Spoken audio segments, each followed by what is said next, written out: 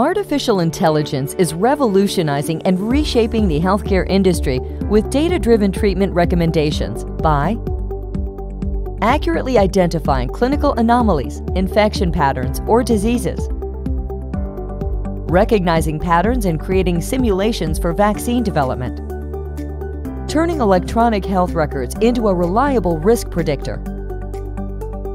analyzing pathology images for accurate decision-making, the use cases are endless. And to keep up with the recent advancements to develop new machine learning models, healthcare companies and hospitals need vast amounts of healthcare data and other allied services to build AI technologies. This is where Shaip can match your healthcare data needs. We offer data licensing, data collection, data de-identification, and Data Annotation Services. Data Licensing. License off-the-shelf healthcare records, for example, over 225,000 hours of physician dictation audio files with corresponding transcripts, 5 million plus electronic health records from over 30 specialties. So no matter what your use case is, we have got it all. We also have access to proprietary clinical NLP technologies to provide data for specific cohorts. Data collection.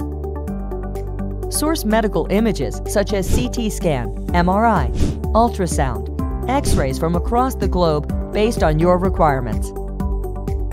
Data de-identification.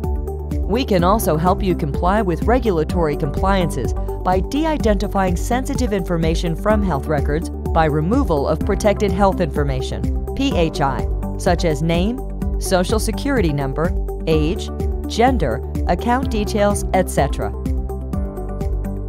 Data labeling.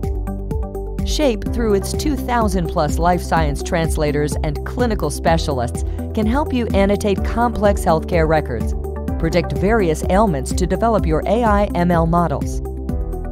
We follow regulatory compliances across borders and cultures, understand the importance of humans in the loop to adhere to stringent quality standards, and follow Six Sigma methodology throughout our operational platform. Shaip, with its expertise, powers top healthcare companies to build AI and solve problems of the future.